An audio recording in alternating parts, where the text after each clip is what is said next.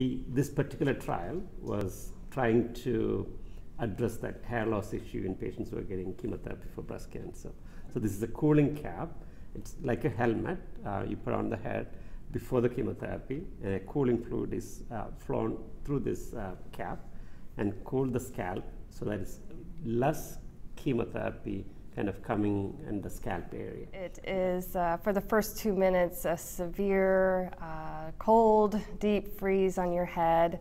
Uh, you get used to it after that. Um, I had just a little bit of thinning of hair. Otherwise, uh, I would say it was a success. We're lucky to have people like uh, volunteers, like Jennifer, joining the trial.